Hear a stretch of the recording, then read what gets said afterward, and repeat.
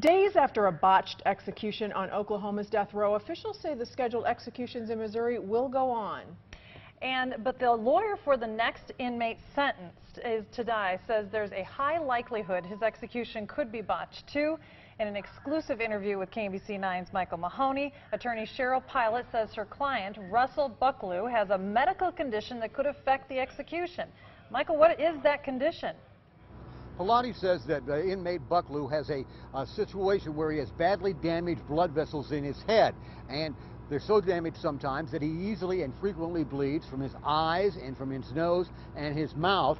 And uh, he's on heavy, heavy medication for this. Still, his execution is set for May 21st.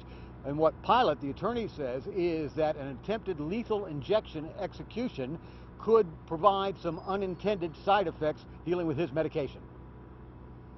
And the likelihood of the botched execution, like I said, involves a number of things. Hemorrhaging during the execution, choking on the blood, impaired circulation of the drug. If the drug doesn't circulate properly, it does not have the intended effect, and that could lead to a prolonged or excruciatingly painful execution.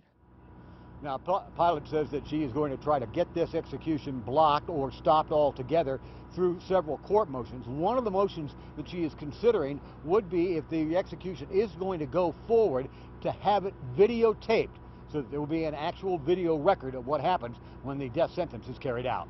Michael Mahoney, KMBC 9 News. Bucklew was convicted of killing a man he thought was trying to steal his girlfriend.